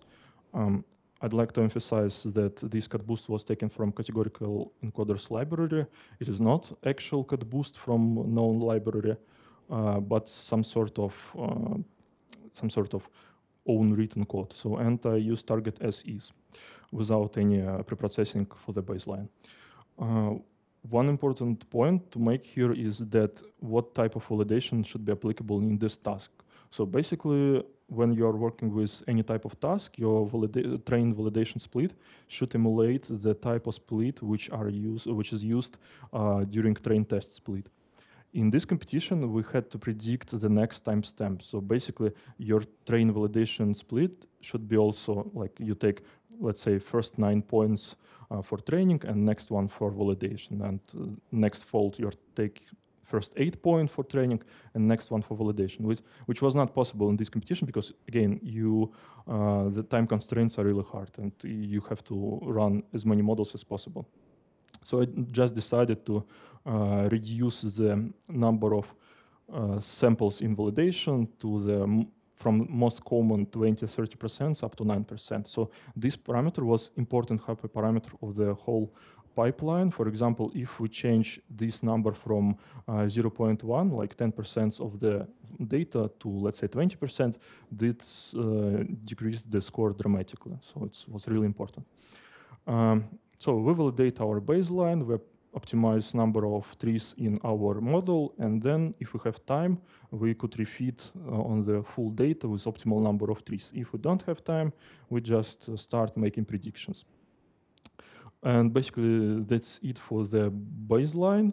Uh, but again, if we have time, we could optimize hyperparameters, and we have three sources of the hyperparameters in this um, in this competition. The first one are main hyperparameters of the whole pipeline. Second one are selected features, and the third one are hyperparameters of the LightGBM model. So let's start. Uh, the first batch of uh, hyperparameters to optimize are uh, hyperparameters of the of the pipeline. So we have four possible options. The first one is transforming target. So basically you could keep your target as is without any transformation. And the second one is if your data is stationary, you could uh, differentiate your target. So your target is just difference between the actual target and the previous value. And it helped a lot to deal with, uh, let's say, trend in the data. So it was, it's really powerful transformation. And the second one, uh, second type of uh, hyperparameters are how we're going to work with categorical columns. So it's not a secret for anyone who are working with um, tabular data that categorical uh, categories are probably the most important type of features uh, in table uh, data frames. So we could work with them either as um, pandas categories, which is cool because our uh, model, GBM, will treat them as one hot representation or we could encode them with, uh, let's say, CatBoost encoder. When we're encoding our features in one hot manner, it could dramatically increase the time for training your model. So basically, as I told previously, you have a lot of highly coordinated features, uh, highly coordinated uh, categorical columns, and it, we could spend a lot of time by fitting the model on this representation of categorical uh, of categories. Uh, so I decided to not include it in final solution because the trade-off between the spent time on these new models and the boost of score was not that bright, so I decided just to throw it away. And that's it. So we optimized our main hyperparameters. If our model improved, we keep it. If it's not, we just throw it away. Uh, next two batches of features are feature selection and hyperparameters. So when you select the features, I just take 10, 20, and 50% of the most important features based on Gini importance uh, and refit the model. If score improved, I keep the model. If not, I just throw it away. And it's the same for the uh, hyperparameter optimization of the of the model. So I'd like also to add that sometimes it's really useful to remove the the most important feature in your model because it's possible that the model just overfits towards the most important feature, and this feature is not the same in the test, for example, or in validation. So it might be useful to try it in your pipelines, but I didn't uh, do it in this competition. So basically, that's it. That was the whole pipeline, the whole process. And I also tested several ideas which didn't work in this competition. So the first one is to apply single model for each time series or uh, do target scaling. So the both ideas didn't work. For example, applying single model for each time series, it could dramatically uh, increase the number of models that we are going to use. And again, we had constraints both for training model and for loading model. And for example, if you have uh, 50 models, you have to load them all at the same time, and you just could fail um, your pipeline in very unexpected way. So you failed during uh, during loading the model or saving it. So it was quite frustrating. And also locally, it didn't improve the score too much. So I decided not to use it. And the second idea is to use target scaling. So basically, when you believe that you have different time series um, with different scales, but the underlying process of generating these features is the same, you could test the following idea. So you scale each time series by minimum and maximum value of this time series. And the time series will become will become more closer. And it would be easier for model to find some uh, same pat patterns in the data. It didn't work in this competition, so I decided not to use it. Uh, then the models, I tested CatBoost, it is too slow without GPU. I tested linear models, they are not so uh, accurate, so I decided not to use them. I tested various target transformations. So again, I tested tar uh, using target as is, differentiated target, use various power transformations and log transform transformation. Uh, it didn't improve score dramatically, so again, I decided to uh, not to not to use them.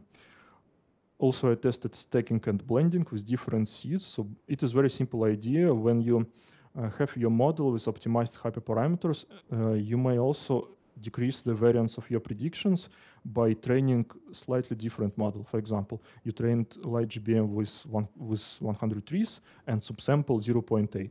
You could train model with 90 trees and subsample 0.85 and then average prediction. So the model is slightly different and it could uh, decrease the variance of your predictions and it helped uh, sometimes. Uh, but in this competition, again, time limits it wasn't possible uh, to to feed two models at the same time. So I decided to spend time on more uh, more promising ways. And also stacking again not possible. Uh, final results. So on the left. Uh, I presented the public leaderboard and on the right the private. So two members of ODS AI uh, got in top three on the public part.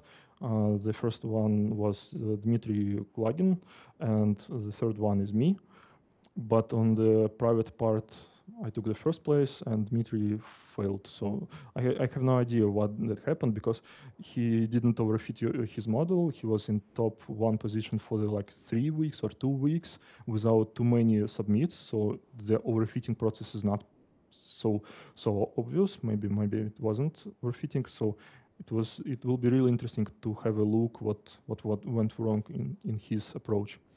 And second and third place are both strong teams from China. So second uh, team, they won the previous competition on AutoML, and they're probably making some sort of consulting related with AutoML. And the third place, they won AutoML on speech identification, something like that. So they they know what they do, and also they open source their code. So I decided to show um, what went wrong in their solution. So again, when you're talking about other people code, it's really very private, and I don't want to sound toxic in this, but I want to start discussion at least because I have some un understanding what what went wrong. So the the first, um, th this is overview of their solution. At first, uh, the guys from second place they created additional features. Uh, just take previous target uh, and they probably made a bug here. So the bug wasn't so obvious. In their um, additional features script, they had several scripts for calculating these uh, previous values.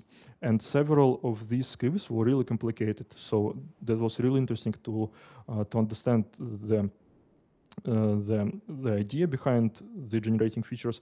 And in the end, they didn't use it. They used the most simplest approach here. And I was quite surprising because why, why they did, did it.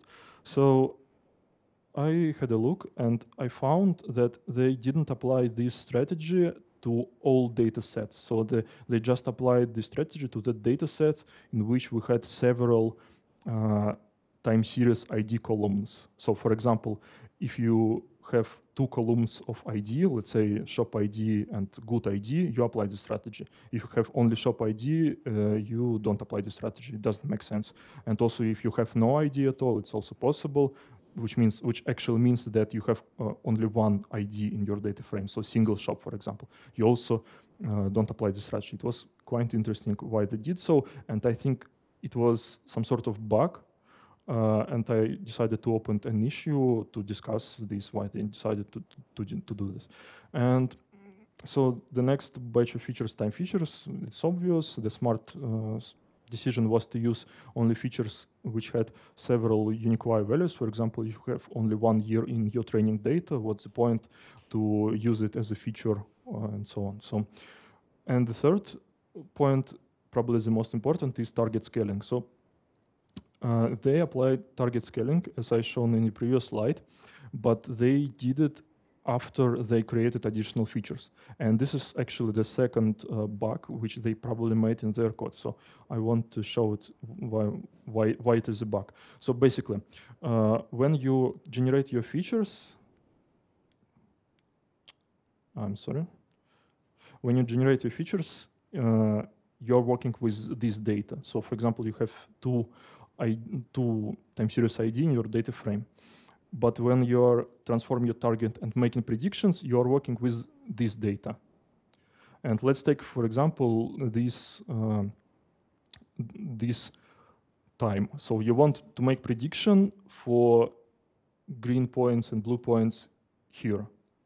And you should take the previous value, which is obviously here, let's say 0.8. But instead, because you transform target after you created these additional features, you're not using these values, but you're using these values. So using 10 and 6 or whatever, 5 uh, for your new features, which doesn't make sense at all. And I think what happened, they tested this approach, but because of the bug, it showed worse score, and they decided to stick with the more simpler solution instead of the more complicated one. And that might be a reason why they didn't win this competition, so it's possible. Uh, then they worked with categorical with categorical columns as pandas categorical, one hot representation. They trained two models LightGBM and linear models. They optimize uh, hyperparameters such as subsample and number of trees, but they used some sort of meta learning. So they wrote the function themselves. I have no idea how they came up to this uh, function, but okay. And they also use dynamic learning rate, which is also might be a source of uh, lower score than it should be. I will show it on the next slide. Uh, and probably that's the most important parts of the fine solution. About dynamic learning rate. So basically, when you're working with uh, LightGBM or any uh, type of gradient boosting under the trees, you um, you're fitting trees and then average your prediction. So you make an ensemble. And in this ensemble is different from, let's say, random forest, because in random forest, the weight of each tree is the same. But in uh, gradient boosting trees, uh, the weight of the first, uh, let's say, couple trees are far more important. They, uh, I mean, contribution the first several trees are far more important than contribution on trees, let's say, uh, from 100 to 110. And these trees are already important. And when you're using dynamic learning rate from low to high, which is like common in deep learning, you assign higher weights to already important trees, which doesn't make sense because these trees, they are not strong predictors. They're very weak predictors, and you're assigning high weights to these predictors.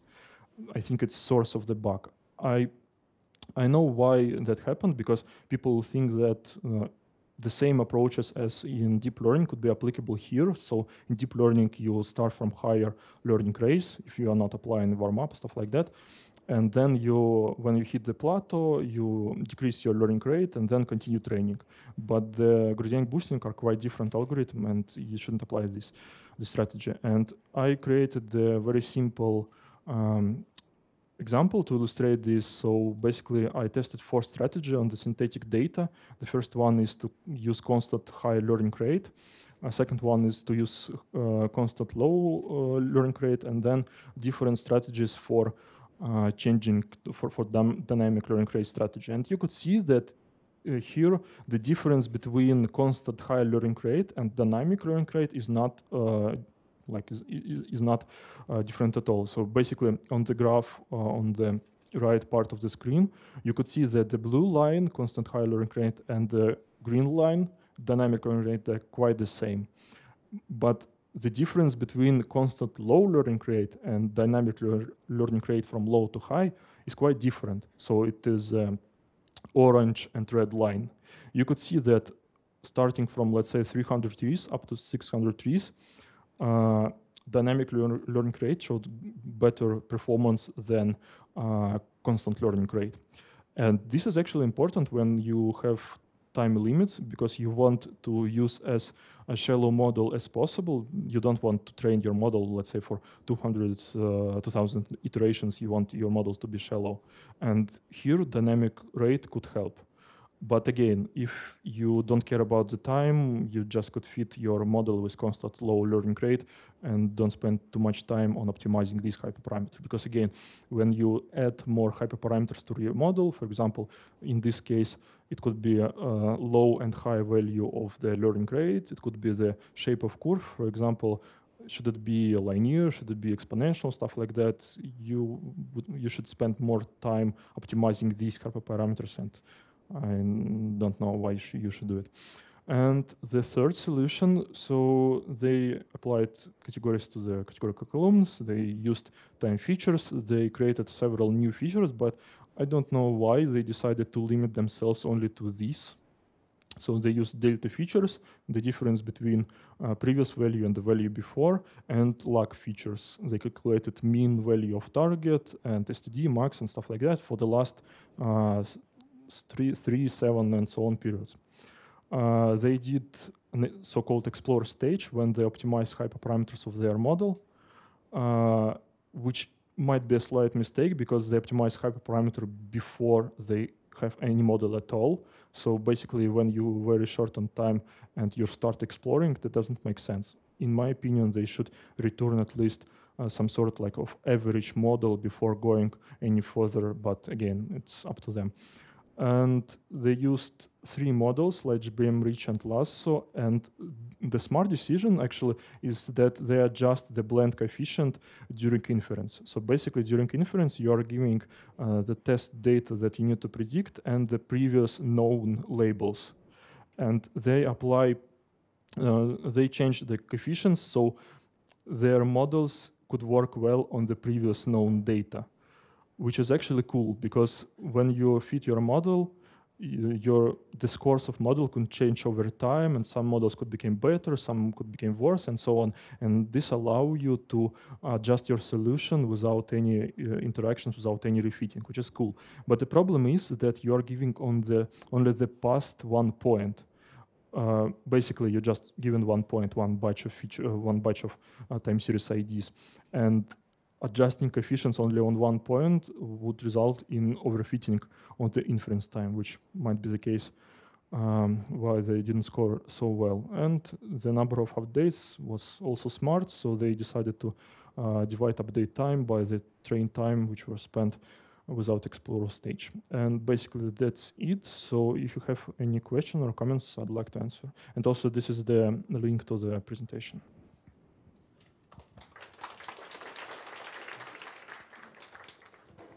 кого-то есть вопросы?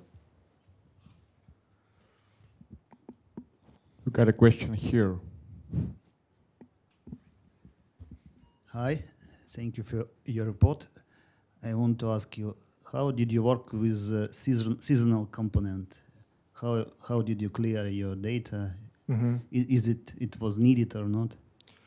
Uh, well, actually, you don't need to clean your data if you have this seasonal information in other columns. So basically, you could say that uh, this information is containing in the categories, let's say, month of the year, and I didn't um I didn't take away the seasonal component of trend or something like that. So I just took it mm, from categories.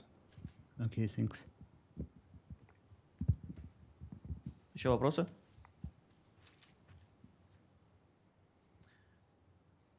Спасибо докладчику. Спасибо, Денис.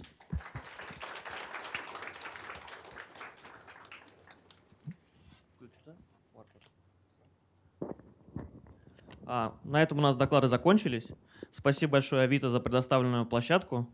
А, также хочется сказать, что те, кто хочет оставить свое мнение, либо поделиться какими-то идеями, пожалуйста, проходите по QR-коду. Она ведет на форму, где можно, соответственно, какое-то свое мнение об этой тренировке и вообще об этом мероприятии оставить. Спасибо всем пришедшим. Спас- Спасибо, спасибо, ребята.